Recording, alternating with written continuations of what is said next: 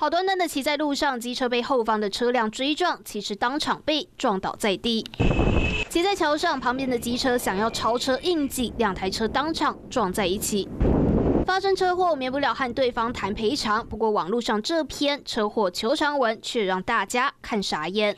破文者指出，小孩跟人发生车祸，请对方提出相关的证明收据、诊断书等，但对方却用手写了一张求偿表，零零总总列了一大串，从车祸的衣物到请假的工资损失，还有脚踝粉碎性骨折附件求偿费用就要六十万。更夸张的是，只有两张车损照片，机车估价单零件却列了一堆，质疑合理吗？对方开出来以后呢，会传给肇事者，那肇事者呢到店家去当场确认它的。品相，什么东西，价钱多少？先做一个确认。机车行老板建议还是要到现场看实际车况比较准确。不过，抛文者说，对方还要求日后有相关问题要他们负责。知乎难道要负责十年、二十年吗？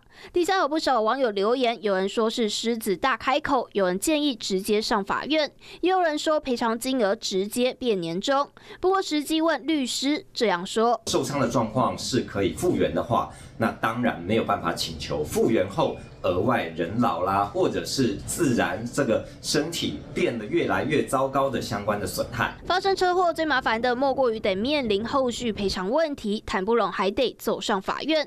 但其实人没事就是最大的万幸。华视新闻林展陈建安台北报道。Hello，我是林明瑞。想要抢先掌握最及时的新闻资讯吗？赶快订阅、按赞、开启小铃铛，锁定我们华视新闻的 YouTube 频道。